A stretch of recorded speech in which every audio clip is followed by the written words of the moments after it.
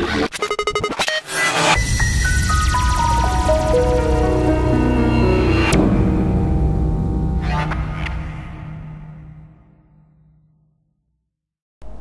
up guys? Techbeatbox.com in this tutorial I'm gonna show you how to get your new post indexed in Google instantly. For the for to get your post uh, new post indexed in Google instantly you need two things.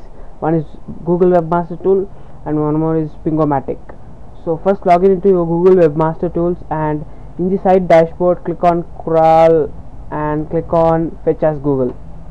After you click on fetch as Google you will be redirected to this page and you have to enter the permalink of the post which you wanted to be on the indexed on the google.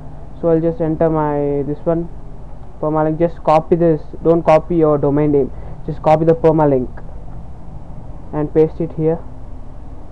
And and give click on fetch.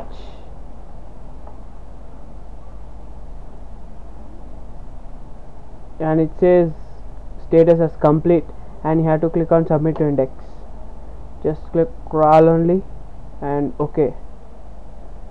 That's it. Url is submitted to index.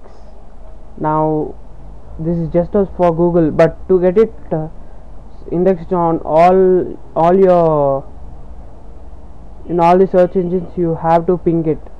There's a pinging service called pingomatic.com don't worry the link will be in the description below. Just click on it. And you have to ping. Yeah it's here. And just enter the post name as my post name is how to get your new blog post index in google index. Just and enter the url just leave it this rss url so just an optional. And just click check all and send pings. Now as you can see it has been pinged on all the major search engines and that's it guys. For more tutorials log into techbeatbox.com and if you have any problems or doubt please comment.